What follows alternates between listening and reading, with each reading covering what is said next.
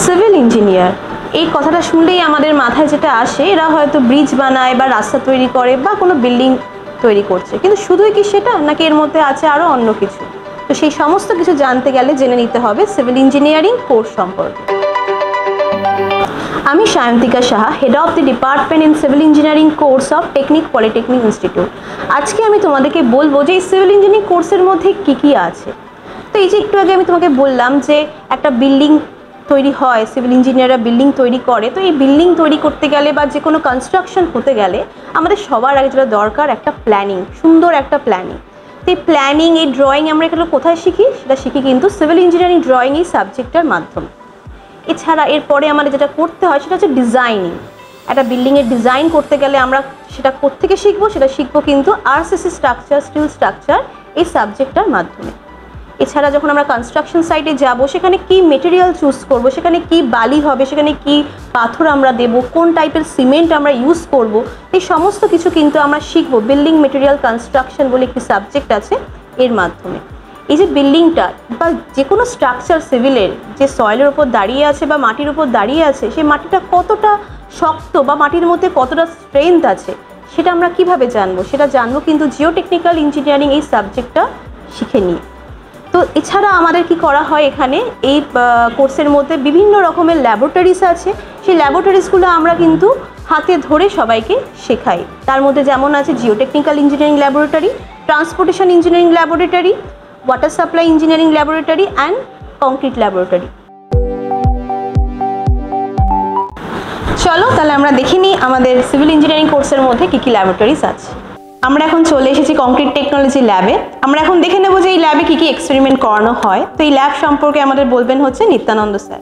আমি নিত্যানন্দ মাইতি, টিপিআই কলেজের civil engineering ডিপার্টমেন্টের লেকচারার ম্যাডাম যেরকম বললেন, আমরা কংক্রিট টেকনোলজি ল্যাবে যাব। তো আমরা কংক্রিট টেকনোলজি ল্যাবে এসেছি। সবার প্রথমে বলি, এই ল্যাবে আমরা কি ধরনের জিনিস টেস্ট করার জন্য ব্যবহার করে থাকি? প্রথমত আমরা যে বালি, পাথর সিমেন্ট যেগুলো ব্যবহার করে থাকি সিভিল কনস্ট্রাকশন সেগুলোর টেস্ট হচ্ছে এই ল্যাবে করা হয়। তো সবার প্রথমে আমরা যে ইনস্ট্রুমেন্টের কাছে এসেছি, সেটা হলো কম্প্রেসিভ স্ট্রেংথ টেস্টিং মেশিন এই অ্যাপারেটাসটাতে আমরা কংক্রিটের স্ট্রেংথ চেক করে থাকি যে কংক্রিটটা কত লোড নিতে পারে।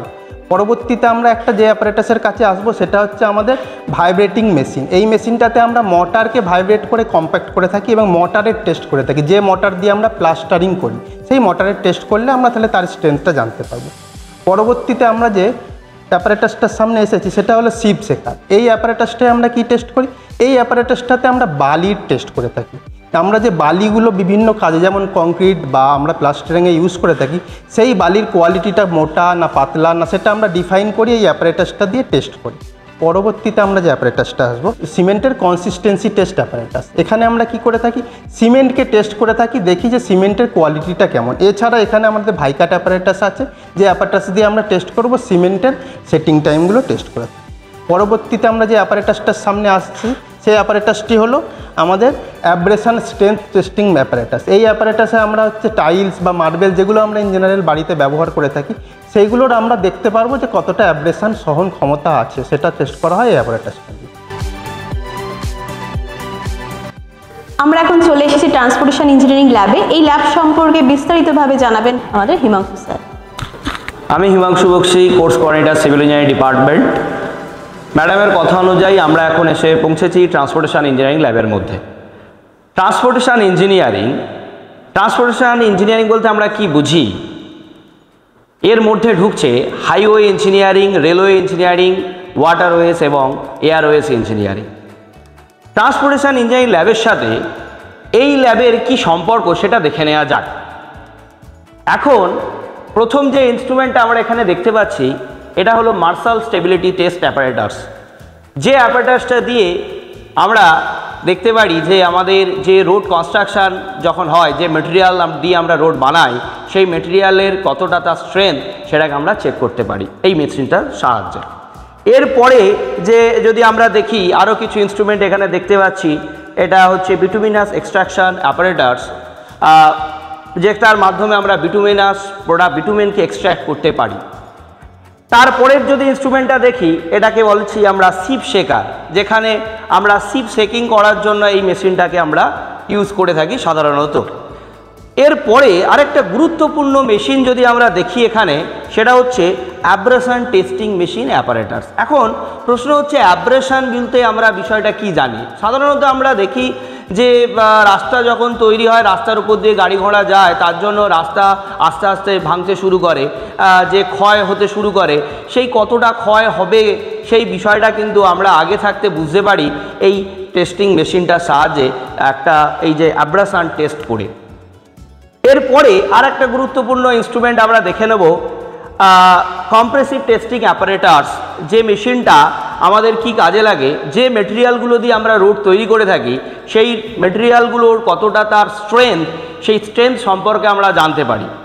তো এটা একটা গুরুত্বপূর্ণ ইনস্ট্রুমেন্ট যে ইনস্ট্রুমেন্টটা আমাদের কিন্তু রোড কনস্ট্রাকশন করতে গেলে খুব প্রয়োজনীয়।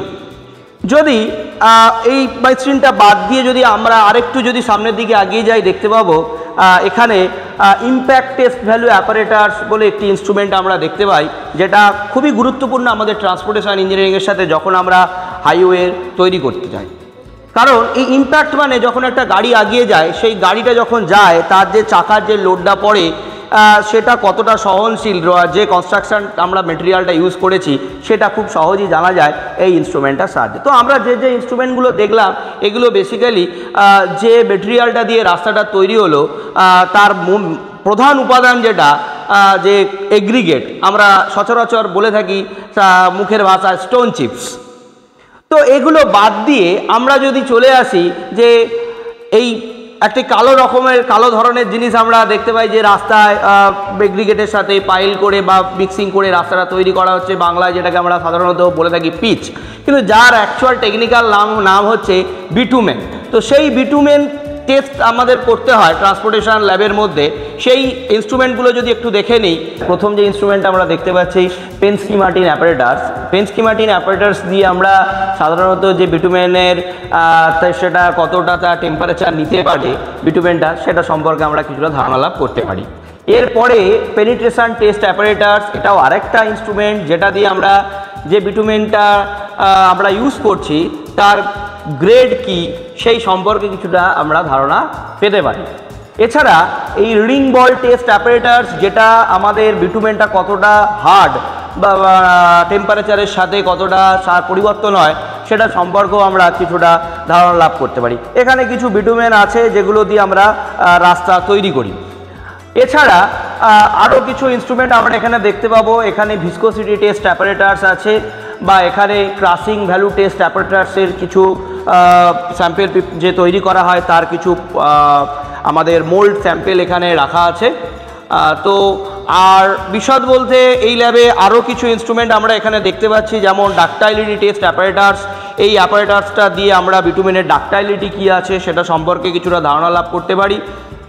এই ধরনের কাজগুলি সাধারণত আমরা এই ল্যাবের মধ্যে শিখিয়ে থাকি। দাঁড়িয়ে আছি পাবলিক হেলথ ইঞ্জিনিয়ারিং ল্যাবরেটরিতে তো এই ল্যাবে আমরা কি কি এক্সপেরিমেন্ট করে থাকি সেটা সম্পর্কে জানাবেন হচ্ছে আমাদের সোয়েব আলী স্যার। আমি Sheikh Shoaib Ali lecturer in civil department technic polytechnic আমরা পাবলিক হেলথ ইঞ্জিনিয়ারিং ল্যাবে মেনলি পাবলিক হেলথের পক্ষে ইম্পর্টেন্ট যেটা এয়ার এবং ওয়াটারের কোয়ালিটি চেক করে থাকি বিভিন্ন টেস্ট অ্যাপারেটাসের মাধ্যমে। প্রথম আমরা যে টেস্ট অ্যাপারেটাসটা দেখব, সেটা হচ্ছে জার টেস্ট অ্যাপারেটাস যেখানে আমাদের জল পান করে থাকি, সেটা স্বচ্ছ, অস্বচ্ছ যদি হয়, সেটার অস্বচ্ছতাটাকে রিমুভ করার জন্য আমরা এই টেস্ট অ্যাপারেটাসটা ইউজ করে থাকি। নেক্সট আরেকটা গুরুত্বপূর্ণ টেস্ট অ্যাপারেটাস যেটা, সেটা হচ্ছে আমাদের ডিজিটাল নেফ্লোমিটার যেখানে আমরা জলে অস্বচ্ছতার পরিমাণ, অর্থাৎ টার্বিডিটি এই অ্যাপারেটাসের মাধ্যমে টেস্ট করে থাকি, যেখানে যেটা ডিজিটাল আমাদের ডিজিটাল নেফ্লোমিটার পরবর্তী একটি গুরুত্বপূর্ণ অ্যাপারেটাস যেটা আমাদের এয়ার ভলিউম স্যাম্পেলার যেখানে আমরা এয়ারের কোয়ালিটি চেক করে থাকি, অর্থাৎ এয়ারটা কতটা পরিষ্কার বা কতটা অশুদ্ধ, সেটা আমরা চেক করে থাকি এয়ার ভলিউম স্যাম্পেলারের মাধ্যমে।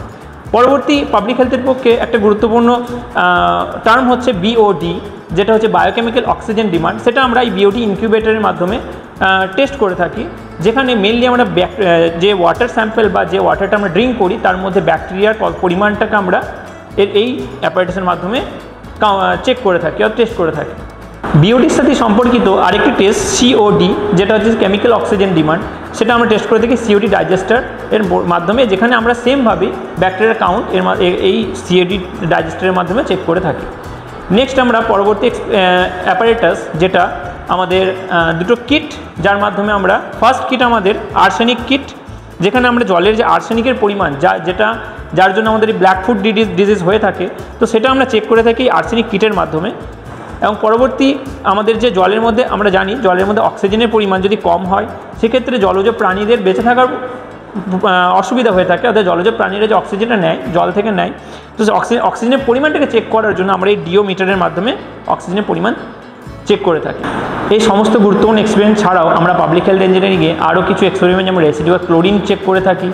এছাড়াও বিভিন্ন রকমের হার্ডনেস টেস্ট পিএইচ অম্লত্ব, খারত্ব বিভিন্ন রকমের টেস্ট আরও করে থাকি, যেটা আমাদের পাবলিক হেলথের জন্য গুরুত্বপূর্ণ, অর্থাৎ জলের জল, জলের অশুদ্ধতা চেক করার জন্য গুরুত্বপূর্ণ, সেই সমস্ত টেস্টও আমরা এই ল্যাবে করে থাকি। এই ল্যাবগুলো ছাড়াও আমাদের এখানে আছে hydraulics lab geotechnical engineering lab and construction material lab এছাড়াও আমাদের ক্যাড ক্লাস এখানে নেওয়া হয়, সেই ক্যাডের মাধ্যমে আমরা সুন্দরভাবে যে কোনো প্ল্যান সুন্দরভাবে ছেলেদেরকে শিখিয়ে দিই কীভাবে ড্রয়িং করতে হয়। তো এই ছাড়া এবার আমি যে বিষয়টা নিয়ে তোমাদেরকে বলব, সেটা হচ্ছে এই সিভিল ইঞ্জিনিয়ারিং কোর্সটা করে তোমাদের কী কী স্কোপ খুলে যাচ্ছে। তো সবার আগেই যে স্কোপটা আসবে সেটা হচ্ছে তুমি যখনই তিন বছরের এই ডিপ্লোমা কোর্সটা কমপ্লিট করবে, তুমি কিন্তু যে কোনো প্রাইভেট কোম্পানিতে এল মতো বড় বড় কোম্পানি সিমপ্লেক্স এটিসি এতে তুমি কিন্তু অ্যাজ এ জুনিয়র ইঞ্জিনিয়ার তুমি চাকরি পেয়ে যেতে পারবে। তারপরেও যে গভর্নমেন্টের যে সেক্টরগুলো আছে পিডাব্লিউডি পিএইচই পিএনআরডি এই সমস্ত সেক্টরে কিন্তু তুমি এলিজিবল তুমি রিটার্ন টেস্ট কোয়ালিফাই করবে, সেখান থেকে তুমি ইন্টারভিউ দিয়ে কিন্তু গভর্নমেন্টেও তুমি অ্যাজ এ জুনিয়র ইঞ্জিনিয়ার তুমি চান্স পেতে পারবে। এই চাকরি ছাড়াও কেউ যদি মনে করে যে আমি হায়ার স্টাডিজ করব, আমি একটু পড়াশোনা করতে চাইছি বা রিসার্চের কাজে যাব, সেটা কিন্তু স্কোপ খুব বড়োভাবে দরজা খোলা, কারণ আমাদের সিভিল ইঞ্জিনিয়ার হচ্ছে একটা বিশাল বড় ভার্স ডিপার্টমেন্ট তো এখানে যে প্রত্যেকটা সাবজেক্ট এই যে transportation engineering concrete technology geotechnical engineering প্রত্যেকটা সাবজেক্ট থেকে কিন্তু তুমি মাস্টার ডিগ্রিতে এগিয়ে এগিয়ে নিয়ে যেতে পারবে। এখান থেকে তুমি চাইলে রিসার্চ করতে পারবে, পরবর্তীকালে তুমি কিন্তু পিএইচডিও অর্জন করতে পারবে। তো এই সমস্ত কোর্স কিন্তু তোমাদের জন্য, এই সমস্ত কিছু, এই ডিপ্লোমা করার পরে কিন্তু খুলে যাচ্ছে এই হায়ার স্টাডিও যদি মনে করো যে না হায়ার স্টাডিজ করব না বা চাকরিও করব না, নিজের কিছু একটা বিজনেস তুমি স্টার্ট করতে চাইছো। তো সেক্ষেত্রেও কিন্তু একটা গুড অপরচুনিটি এই কোর্সটা চুজ করার ক্ষেত্রে আর কারণ তুমি এখান থেকে তুমি যে কোনো কনসালটেন্সি ফার্ম তৈরি করতে পারো যে কোনো কনস্ট্রাকশনের তুমি বিজনেস স্টার্ট করতে পারো। তো এই সমস্ত স্কোপ কিন্তু তোমাকে খুলে দিচ্ছে এই সিভিল ইঞ্জিনিয়ারিং কোর্স তো আমার যদি পার্সোনাল ভিউ তোমরা জানতে চাও যে অ্যাজ এ ইঞ্জিনিয়ারিং কোর্স হিসেবে কোনটাকে চুজ করা উচিত? আমি অবশ্যই বলব সিভিল ইঞ্জিনিয়ারিং কোর্সকে তোমরা চুজ করে নিতে পারো তোমাদের পরবর্তী ফিউচারের জন্য। তাহলে দেরি কিসের? চলে আসো নিজেদের তৈরি করতে টেকনিক পলিটেকনিক ইনস্টিটিউট